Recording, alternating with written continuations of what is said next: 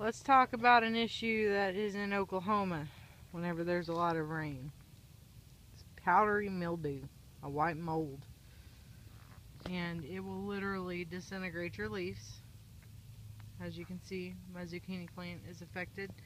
Um, some more of my squash over there is, and it's even starting to get my pumpkins. I can see far away they look a little powdery.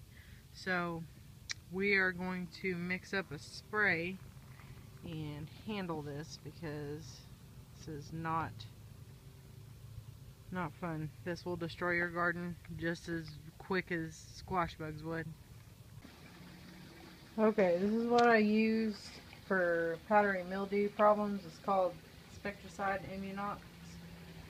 It's a multi-purpose fungicide and it uh it really does the job. It's done well for me in the past whenever I've had mildew problems because in Oklahoma the problem is that sometimes we get so much rain, especially in the uh, midwestern point, point where uh, I live, and uh, you get so much rain and then it gets so hot, and sometimes that powdery mildew can just like go out of control.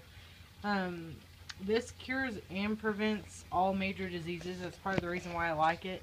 Um, also, I've not only seen it uh, do its job on powdery mildew, but blight.